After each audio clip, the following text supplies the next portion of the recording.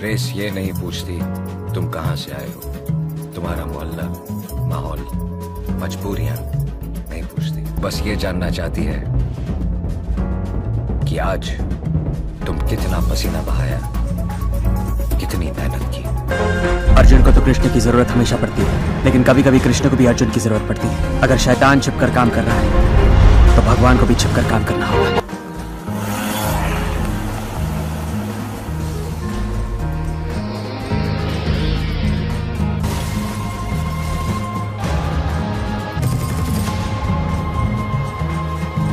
मैं मरा नहीं